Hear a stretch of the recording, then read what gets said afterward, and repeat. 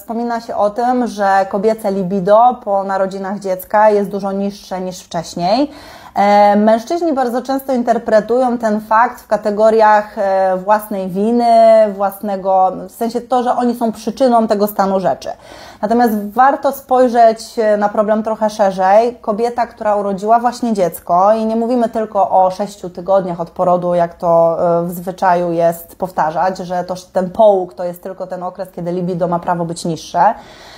tylko kobieta zajmująca się na co dzień dzieckiem ma zdecydowanie wielki deficyt różnych codziennych, zwykłych potrzeb, począwszy od potrzeby snu, potrzeby jedzenia regularnego, potrzeby kontaktu z innym drugim e, dorosłym człowiekiem, e, rozwoju zawodowego, rozwoju kreatywności. Ta potrzeba seksualna plasuje się gdzieś naprawdę na końcu tego łańcucha zaspokajanych potrzeb.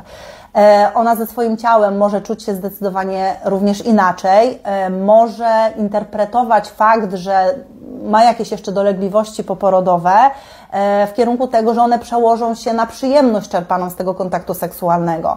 E, mogą po prostu mieć obniżoną samoocenę, e, zwiększoną tkliwość, wrażliwość ciała na dotyk, dlatego że przez cały dzień obcując z małym dzieckiem są cały czas dotykowo stymulowane, więc ich e, akceptacja nowego, kolejnego dotyku i otwartości na niego jest zdecydowanie obniżona.